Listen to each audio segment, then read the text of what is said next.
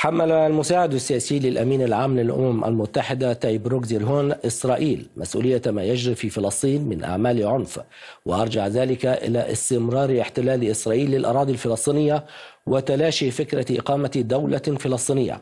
وحذر إسرائيل من أن ما تمر به المنطقة لا يمكن حله عن طريق استخدام وسائل العنف.